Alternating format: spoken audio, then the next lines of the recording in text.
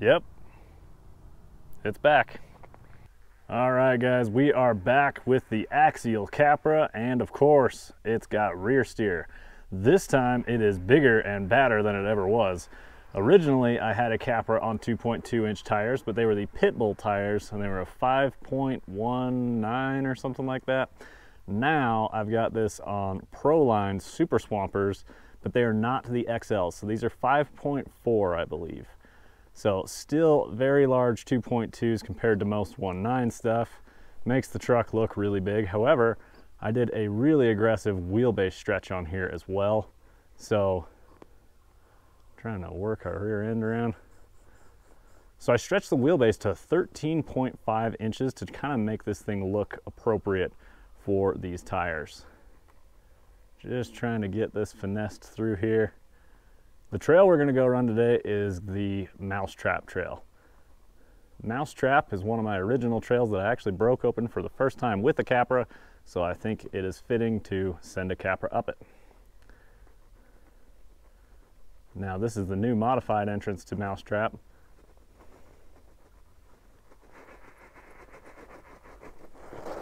And apparently it doesn't want to go up it right now, but for time's sake, we're just gonna throw it on up. All right, here we go. So let me just explain real quick why I have a Capra again and kind of what happened on the channel. So a couple months back, I had a Capra on 2.2 inch tires, rear wheel steer, tons of fun, crushed a lot of lines with it, but uh, kind of got completely used to the performance of the rig and just got a little bored of the Capra itself. Wanted to decide, and I decided to try and build something special and different out of an Element Gatekeeper. So I bought an Element Gatekeeper kit, and then I put Capra axles on it about a week after I got it, after selling my Capra that I had. The Gatekeeper was a ton of fun with the Capra axles. It was also rear steered, but it had a C-channel chassis and the big heavy cage on top. So the performance was never quite the same. However, I had a lot of fun with it anyway. Now, I accidentally let it fall off a 40 foot cliff, the Element Gatekeeper with the Capra axles. It destroyed the Capra axles, it destroyed the Element Gatekeeper cage, and it bent the chassis. After repairing it the first time, which cost me well over $150 just to repair one fall, um, I took it back out with a couple of friends and ended up going off another 40 foot cliff, this time hitting even harder, bending the chassis even worse, and breaking plastic parts again, including ripping the transmission right out of the skid, which destroyed the transmission too. So, I was sitting there with a bent chassis again, with a broken cage again, and uh, had to replace a lot of parts on it to get it up and running again. When I had a Capra cage and transmission sitting on the shelf. The Capra axles were good after the second fall because the, uh, the blunt of the force actually went directly onto the roof of the old gatekeeper. So I decided to just go ahead and take the Capra axles off the gatekeeper and put it onto a new Capra cage. This is not my old car. That car's still out there. Uh, it's actually sold it to one of my buddies and it's still out there crushing the trails. This is a completely new car and in doing so, I decided to go with a crazy wheelbase, longer links, and change it up just a little bit.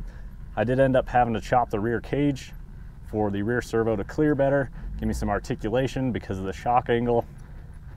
So this is a totally new car. It's on big tires. It's a longer wheelbase and it's just a different machine than what my original one was. So that's kind of the story of where my old Capra went, where the new one came from, and the Gatekeeper. Now the Gatekeeper was always really fun and I don't blame Element at all for the parts breaking on it that it did. It was just a little pricey to keep falling off of cliffs and keep repairing it. So I just went ahead and decided, you know what? I'm gonna take the parts that I have sitting on the shelf and turn them into a car again. That right there is Tyson's entrance to this, so big shout out to Tyson for proving that this whole line was possible. So the electronics in this truck are actually a lot of Spektrum. Uh, I did a Spektrum sensored brushless motor and ESC, which have the field, field oriented control or FOC, just like the Axe systems. Now, I did finally realize why Spektrum uh, charges more for their Axe style system than Hobbywing does. And that's because if you have the right Spektrum controller, you can change your ESC settings directly from your controller, which is pretty cool. You can do it out there on the trail without a programming card or anything. So that's why it costs a little bit more. It's because they had to put in the time to make that work and program it. So if you're a big Spektrum guy, check out the Spektrum Firm Up Sensored Brushless Combo. Always one of my favorite parts of the trails where you got to make the turn and commit to the big downhill and then try and land right on the rock where you want. Especially with it being this slick and cold today.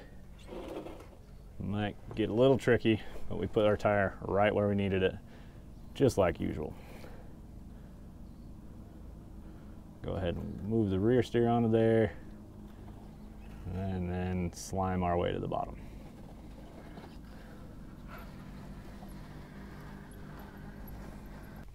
Now, it felt like I had shown this trail more than I actually had. I went back on my timeline and looked at how many videos I actually have of Mousetrap, and there's not that many. So, bringing the Capra back here for the introduction back to you guys felt like the right thing to do.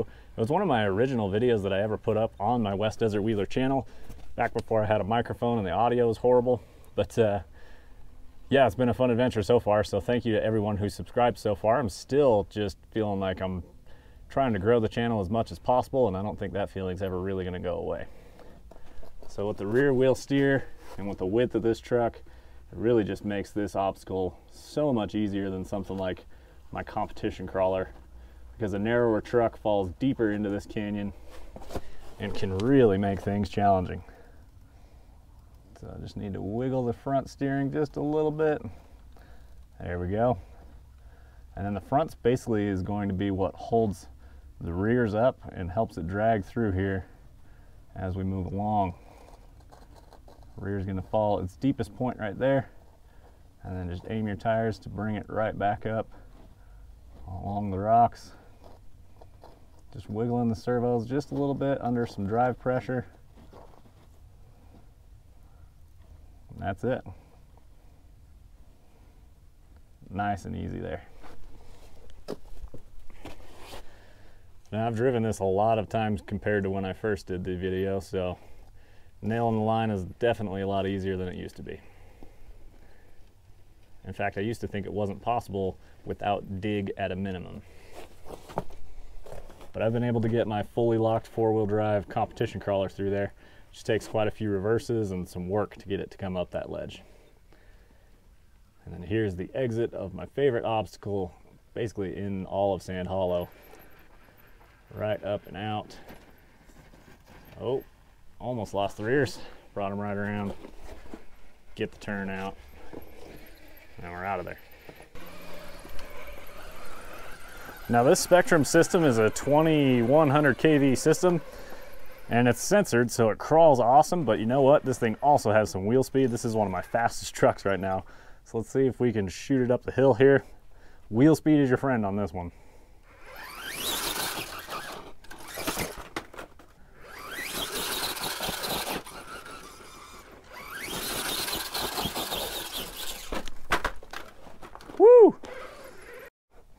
Normally I would give up and just push this up to the top, but it's so close. I think I just need to get the line right. Come on, Capra, we can do it.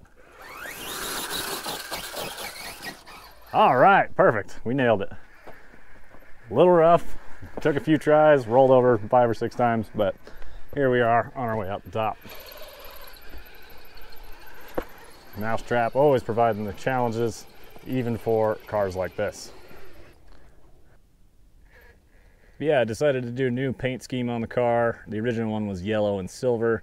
Got quite a few videos with that set up if you guys want to see it. But now we've got the army green and black. Pretty fun. Had some help from my brother painting that one up while he was in town. But I think the car looks great. Here you go, getting it in the sun. You can really see the green pop. The roof is mostly black with the green stripe on the front. And then of course we got the uh, sponsors down the side, Sky RC, smart technology from Spektrum, as well as Axial and Proline. So car's looking good. Now this spot has always been the hardest with wider cars. Something like a stock SCX 10.2 cruises through here, where uh, you can really get bound up pretty easy with something as wide as this car. This is a Capra on 2.2s with wheel spacers. So it's a wide setup. So let's see if we can just kind of scrub our way along here.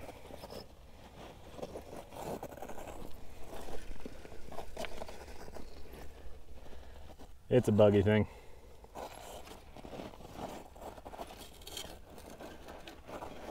Real close. Come on, Capra. Yeah, we got it in and out of there. And that is the end of the Mousetrap Trail, guys. Didn't even use dig once, so there we go. We'll go ahead and lock it in for this last drop. Some of the rocks have uh, become unstacked from people actually rock crawling on the real trail. So we'll use dig, help it set down, and then release it and let her go. And she's out.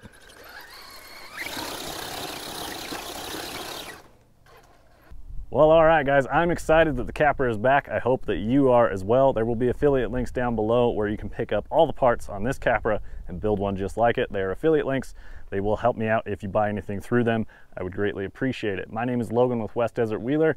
Pick up some West Desert Wheeler merch while you're at it. There's a link down below. We will see you guys in the next one. Keep the rubber side down.